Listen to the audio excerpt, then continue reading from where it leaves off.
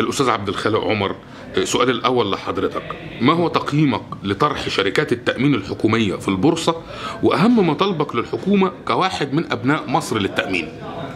والله موضوع طرح البورصة ده في بعض المخاوف والقلائق منه لأن إحنا لنا تجربة مريرة مع الخصخصة ومع ما تم فيها.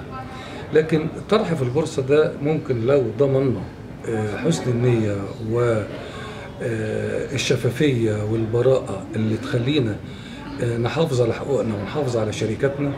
فهي شيء كويس إن إحنا نعرف موقعنا فين من أسهمنا ومن أسعارنا ويبقى في قدر من الشفافيه أعلى في المعلومات والبيانات. لكن آه، إنه يأتي فجأة أو إن الأمر يأتي آه، مباغتة هو ده اللي بيقلقنا. إحنا كنا نتمنى إن إن الأمر يأتي تدريجيا إن الشركات تستعد بشكل جيد.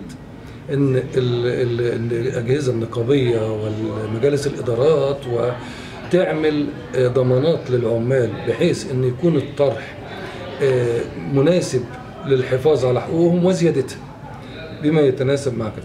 لكن ان إن نفاجئ مرة واحدة وإحنا لسه في ال background بتاعنا والخلفية بتاعتنا طول الوقت فكرة إن الخصخصة فهي دي اللي قلقانة كتير من فكرة الطرح.